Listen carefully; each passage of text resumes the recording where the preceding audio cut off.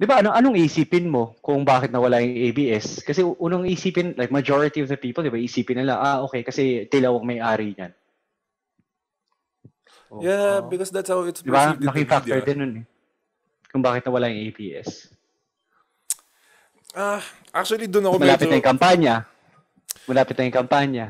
Tatakbo pa presidente si Pacquiao. Yeah.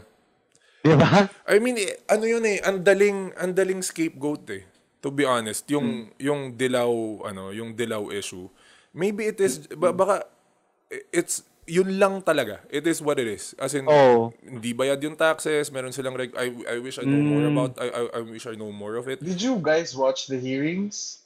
I, I, I heard some, pero hindi ko napanood lahat. I Balita lang. watched the entire thing, man. Like four Sa hours ABS? every Four hours? on YouTube, parang live siya. Ah. and then it, ge- Okay. gets recorded. Ah, and then may, may mga ads lang, pero I mean, I just let it play uh, while I worked. Mm. And then ala, again, Where did you find out? Kung bakit nawala yung ABS? no, the first session, if that's what you call it, they were they there was this guy called Marcoleta, who's a congressman, who raised like six points or five about all the violations now. So they've they've parang they have time parang five minutes ata per congressman who want to Mhm. ask questions Mm. And um parang some people give their time yung parang before sa mga blue ribbon committee na parang I give my time to Congressman Marcoleta Yeah, yeah, yeah. honorable Yeah. blah blah blah your honor Ah, ah, ah. and, and then uh, where, where was I um First section. okay the first up, up till now ang tinatanong pa rin nila is the citizenship but that's just the first point pa lang so it's been three sessions ah and they brought out uh, Mr. Gabi Lopez na who's been very polite about the entire Yeah. thing tapos yung may mga times lang na I, I've, I found it interesting ah, na the first time they asked for Mr. Gabi Lopez to come parang yun na nga na-insinuate na oh the the the bill uh, the citizenship is ano 100 100% approved na Filipino siya because his parents are ano Filipino and in Philip in the constitution if your parents are Filipino no matter where you're born they're Filipino Mm. So but then there's Mm. also the issue daw na he's American Mm. And the whole time, everybody's allowed to say eh, uh, whatever they want to say, manifest.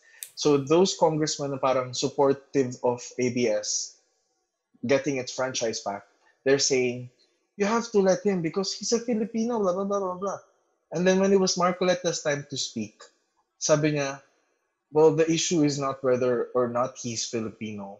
Kasi it's it's known that he is because of that, Mm. what you just stated. Pero the issue is, according to the, the constitution, such franchises na parang, ano, may ties with the government that gives them frequency, they have to be 100% Filipino, mga mass media, Yeah. I think.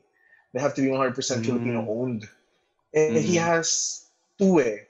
So it can't be 100% because Mm. he, he's not both, he's not 200%. Yep, yep. So, Yeah.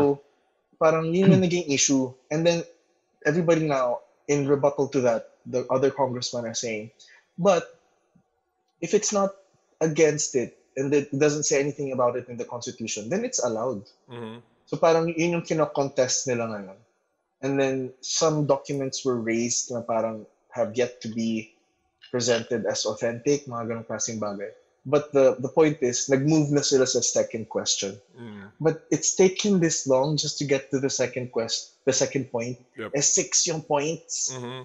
and and what i want to get to is like towards the end Ah. yung yung parang the one i think kasi para iba medyo fallible eh na pwede mong Kaya tapang yung KFC ah. Oh Mm. pero yung the other one the one towards the end was like their their treatment of their employees Mm. na mm, they, they're sabi nila 11,000 but the BIR doesn't have that much with them, Records. parang 2,500 lang. Yep. So the remaining 8,000 something, uh, they're they're Contractual.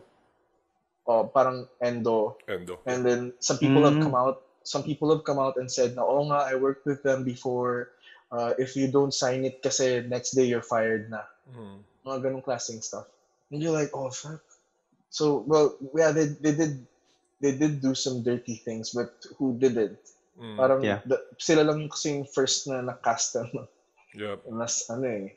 Parang, and I think, not to be partisan, but I think the government, I mean, yung administration Duterte, I think this is like a part of his agenda talaga. Kasi he's been hinting at it eh. If Mhm. you check from the past, lagi nang pag tinithreaten siya ng ABS, lagi nang sinasabi Mm. na, hmm, pag tignan mo yung asta akin." niya, parang, Yeah. "Hmm, maghintay ka lang, Yup. maghintay ka lang. Parang ganun lang. Eh. kita. Oo. Wala pa, para sa kanya, hindi pa oras eh, wait lang. Yep. Yep. And then the fact na, I don't know, it's, Nah, he's a political think. genius. Yeah. Dude, that's that, just my yeah, opinion. yeah, yeah. That actually makes sense. So, like, how I look at it, um, actually, the fact lang na yung inopen yun ni Marcoleta ba, na, I mean, I haven't heard of it, pero the idea na, o sige, um, you're a Filipino and you're also a US citizen, pero the fact na you are running a media company in the Philippines, iba yung gravity. Somehow that makes sense eh. Kung by law, hindi siya, I mean, hindi, by law, hindi naman siya nakasulat na, That it Um, took this long? Na or that's not how it goes na as in legal naman yung yung proceed or legal naman yung case then it is what it is. Pero the idea nga na um 'di ba inopen pa na um do you remember yung Philippine uh, Philippine American War? Um 20 ano ba 20% of um our our uh, of Philippine army or Philippine population were killed during that time.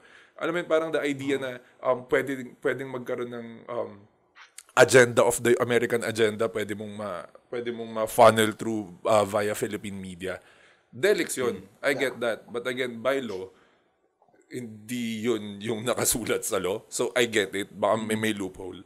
But the thing is, with the Lopezes, as much as I don't want to think about it that way, pero dude, how Rappler does their content, how ABS does their content when it comes to the administration, kahit na ayaw mong isipin na hindi sila partisan, medyo blatant eh.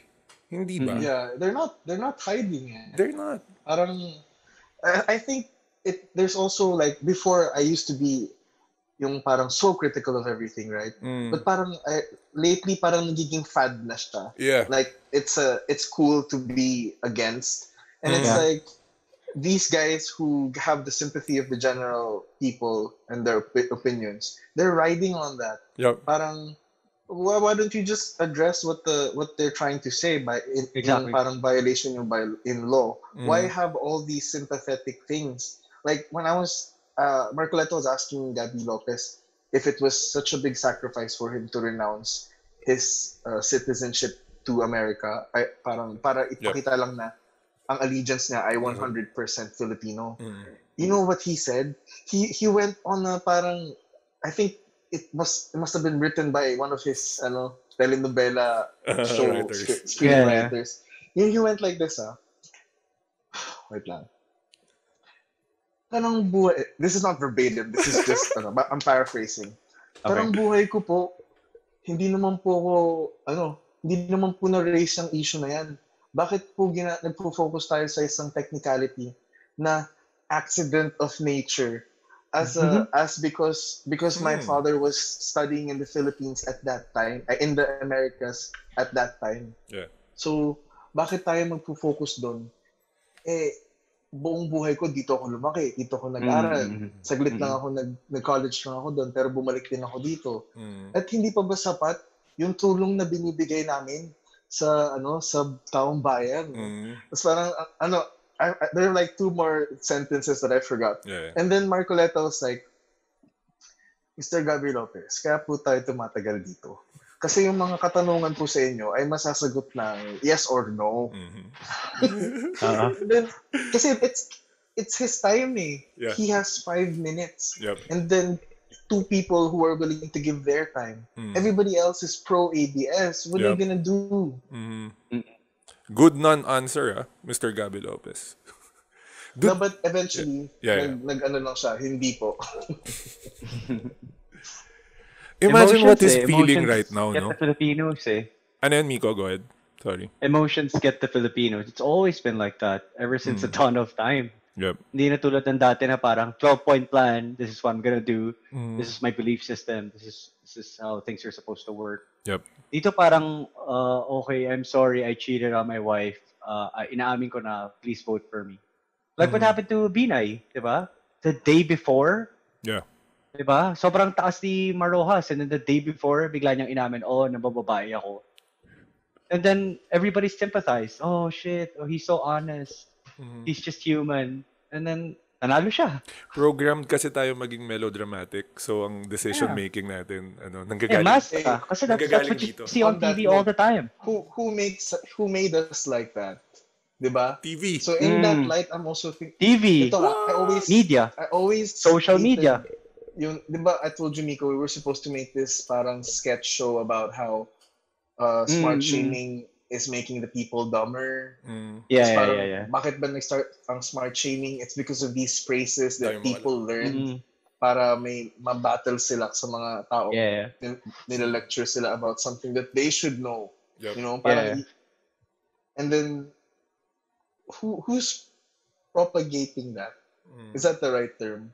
I, I don't wanna. It's not propaganda. I mean. Mm. Propagating. saying- Yeah, yeah, I get it. who's helping it grow? Yep. Di ba?